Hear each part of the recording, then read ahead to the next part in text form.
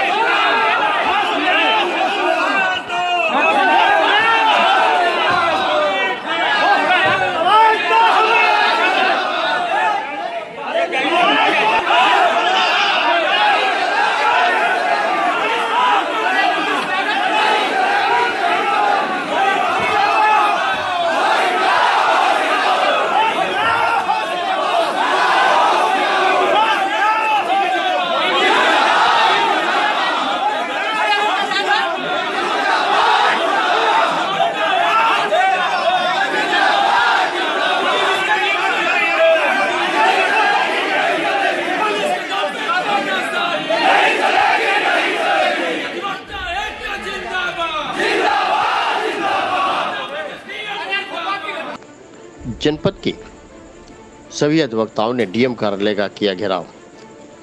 खबर उत्तर प्रदेश के मऊ जनपद से है, जहाँ आज जनपद में सभी अधिवक्ताओं ने एक साथ मिलकर डीएम कार्यालय का घेराव किया है। आपको बता दें कि पिछले दिनों मोहम्मद, मोहम्मदाबाद एस डी आशुतोष राय ने एक अधिवक्ता का, के साथ अशोभनीय हरकत की थी। इसको लेकर के आज अधिवक्ताओं ने डीएम कार्यालय पर जमकर प्रदर्शन किया है। वहीं।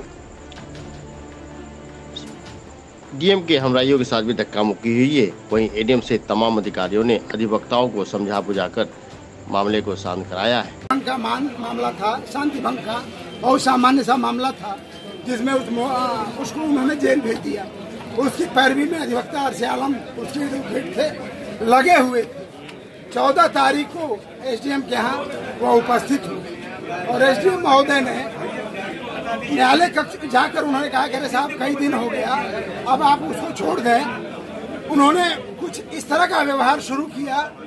वकील ने कहा बार बार अनुरोध किया। उसके बाद एसडीएम ने कहा कि ये हम चलाएँगे कि तुम चलाओगे तरह और अशोभनीय भाषाओं का इस्तेमाल करते हुए और अधिवक्ता के ऊपर टूट पड़े लाठी डंडे से। यह प्रदेश की पहली ऐसी घटना है जब किसी न्यायिक अधिकारी ने जुडिशियल मजिस्ट्रेट ने अकेला अधिवक्ता था कोई भीड़ नहीं थी। और उस अधिवक्ता को सरेरा उन्होंने पीटने का काम किया। क्या मांग है मांग हमारी मांग ये है लगातार चौदह तारीख से अधिवक्ता इस पूरे जनपद के आंदोलित है।